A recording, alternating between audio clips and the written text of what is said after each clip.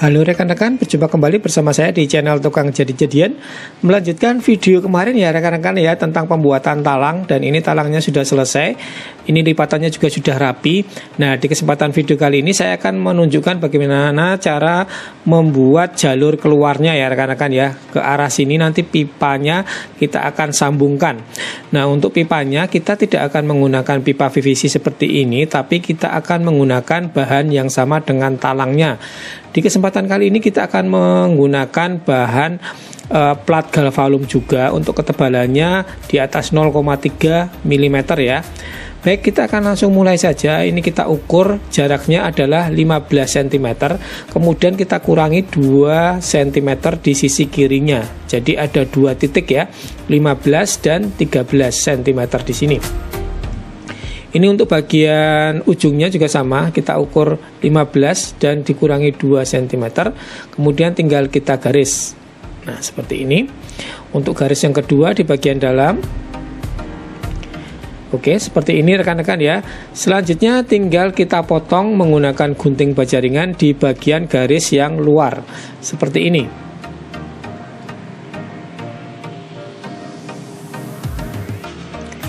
Oke, sudah selesai rekan-rekan ya. Seperti ini untuk hasil potongannya. Kemudian kita akan potong untuk panjangnya. Untuk panjangnya ini kita akan ukur 30 cm ya. Kemudian untuk sisi sebaliknya atau sebelahnya ini 30 cm juga. Kemudian kita garis. Setelah itu kita tambah lagi rekan-rekan ya di sampingnya ini adalah 1 cm. Kita garis Jadi totalnya 31 cm ya untuk panjangnya. Kemudian kita potong menggunakan gunting baja ringan seperti ini. Baik, ini sudah terpotong. Di sini ada garis 1 cm dan di sebelah kanan ini kita harus garis juga tapi posisinya terbalik rekan-rekan ya. Di sisi sebaliknya ini untuk sisi sebelah kanan kita ukur 1 cm lebarnya. Oke, seperti ini kita garis. Ini sudah kita garis dan sisi sebelah kiri di bagian sebaliknya. Oke, sekarang tinggal kita lipat ya. Kita lipat menggunakan penahan di bagian bawahnya penggaris yang siku nggak apa-apa. Yang penting nanti untuk hasil lipatannya itu lurus ya rekan-rekan ya supaya nanti ukuran dari pipanya bisa pas. Seperti ini kemudian kita lipat ke bagian belakang. Oke. Nah, seperti ini untuk bentuknya. Kemudian sisi sebelah kiri kita lipat juga tapi posisinya terbalik rekan-rekan ya. Kalau tadi ke atas, ini kita kebalik jadi ke bawah untuk melipatnya. Oke, seperti ini. Kemudian tinggal kita tekuk ke bagian dalam. Seperti ini. Kemudian kita rapatkan sedikit menggunakan tang ya. Kita jepit sedikit-sedikit supaya agak rapat. Untuk sisi sebelah kiri juga sama, kita rapatkan sedikit.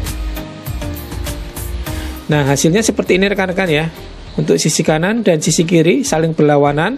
Setelah itu tinggal kita pertemukan untuk ujung ketemu ujung. Kemudian untuk tekukannya kita masukkan saling mengikat seperti ini. Setelah itu tinggal kita jepit menggunakan tang, kita rapatkan. Kemudian sisi sebaliknya juga sama, kita jepit dan kita rapatkan supaya bagian tengahnya ikut rapat atau ikut kencang ini kita palu menggunakan bawahnya kayu ya rekan-rekan ya atau menggunakan pipa akan lebih bagus ya cuma saya nggak punya pipa bulat yang kecil jadi saya menggunakan kayu saja seperti ini nanti untuk hasilnya juga sama ya yang penting bisa kencang untuk penguncinya Oke, hasilnya jadi seperti ini rekan-rekan ya. Sudah berbentuk pipa. Sekarang kita akan buat lingkaran atau lubang di bagian talangnya. Untuk membuat lubangnya dari posisi bawah ya, seperti ini kita pasang, kita atur posisinya kira-kira di tengah kemudian langsung kita marking untuk lingkaran dari pipa galvalum ini. Oke, seperti ini. Setelah itu tinggal kita lubangi. Nah, untuk membuat lubang ini kita menggunakan mesin bur terlebih dahulu. Kita bur menggunakan mata bur 5 mm ataupun 6 mm bisa. Kita bur dua posisi di tengah seperti ini Oke, kemudian tinggal menggunakan gunting baja ringan.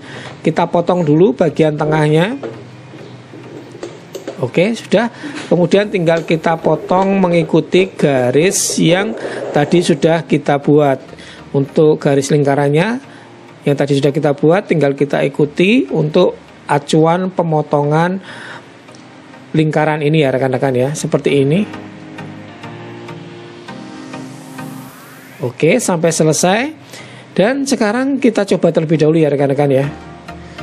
Oke ternyata pas ya sudah masuk untuk pipanya. Dan untuk pipanya ini sekarang tinggal kita potong ya. Kita potong di bagian tepi yang garis ini. Kita potong dari bagian tepi sampai pada bagian garis. Kemudian untuk jarak potongannya antara 1 sampai 2 cm ya. Semakin kecil akan semakin bagus nanti untuk lingkarannya ya. Kalau terlalu lebar nanti uh, agak sedikit persegi untuk hasil tekukannya. Oke kita potong sampai di pertemuannya rekan-rekan ya seperti ini kemudian tinggal kita tekuk ke bagian luar. Nah seperti ini kita tekuk satu persatu tinggal kita ratakan semuanya kita tekuk ke bagian luar. Oke kita tekuk yang paling sambungannya ini. Setelah itu kita ratakan dan kemudian kita menggunakan lem silen atau lem kaca. Ini kita pada bagian sudutnya kita lem dulu ya rekan-rekan ya. Kita kasih lem agak banyak untuk bagian tekukan di bagian dalamnya ini. Kita kasih lem mengitari dari pipanya sampai bertemu di bagian awalnya tadi. Seperti ini ya lemnya sudah siap sudah oke. Okay. sekarang tinggal kita masukkan dari bagian atas. Kita masukkan seperti ini. Kemudian kita tarik ke bagian bawah Oke, seperti ini kita dorong ke bawah. Kemudian kita tarik ya sampai lemnya menempel ya rekan-rekan ya. Kita tekan-tekan seperti ini supaya lemnya benar-benar nempel. Kemudian supaya lebih kuat lagi kita kunci menggunakan paku rivet. Untuk rivetnya bisa menggunakan yang 3,5 mm atau 4 mm juga tidak apa-apa. Kita kasih paku rivet di empat posisi ya supaya benar-benar kuat. Oke, kemudian untuk bagian atasnya ini kita tambah lagi lem sealant, terutama untuk menutup bagian rivetnya ya rekan-rekan ya, supaya nanti tidak rembes ataupun tidak bocor air yang ada di talang ini. Oke, seperti itu. Kemudian eh, bagian atas sudah, kemudian kita balik posisinya. Nah, untuk bagian bawah ini juga pertemuannya kita lem sealant juga ya. Jadi ini mengitari, kita lem sealant, kemudian kita ratakan untuk lemnya supaya lebih kuat dan nanti tidak rembes. Setelah itu jangan lupa kita rivet juga bagian pertemuan pipanya ya.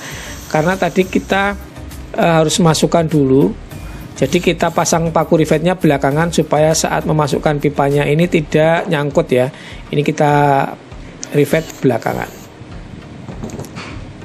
Oke, sudah rapat ini rekan-rekan ya. Dan sudah selesai ya rekan-rekan ya bentuknya seperti ini untuk jalur keluar atau pipa keluar dari talang air banyak galvalum dan ini juga sudah rapi ya rekan-rekan ya. Bagian bawahnya nanti tinggal disambung dengan pipa PVC nah ini untuk airnya nanti akan mengalir dari atas kemudian melewati pipa ini ke bagian bawah dan disambung dengan pipa PVC lagi ukuran 3 in seperti itu rekan-rekan ya, tutorial kali ini semoga dapat bermanfaat. Kebetulan ini saya membuatnya adalah ukuran 3 inch. Mungkin buat rekan-rekan yang mau membuat dengan ukuran pipa yang beda, nanti disesuaikan saja untuk ukurannya. Mungkin rekan-rekan mau bikin yang pakai 2 inch saja karena penampang atapnya tidak lebar dan hasilnya nanti bisa minimalis menggunakan yang 2 inch juga nggak apa-apa ya, tergantung dari penampang atapnya besar atau kecil. Baik rekan-rekan seperti ini ya, semoga dapat bermanfaat, menginspirasi dan berguna buat rekan-rekan sekalian yang mungkin sedang mencari tutorial yang pembuatan talang dan jalur pipanya. Terima kasih buat yang sudah menonton. Tetap dukung channel ini dengan cara subscribe. Yang suka dengan video ini silahkan klik like. Yang tidak suka mau dislike juga tidak apa-apa. Sampai berjumpa di video selanjutnya dari channel Tukang Jadi-Jadian. Terima kasih dan tetap semangat.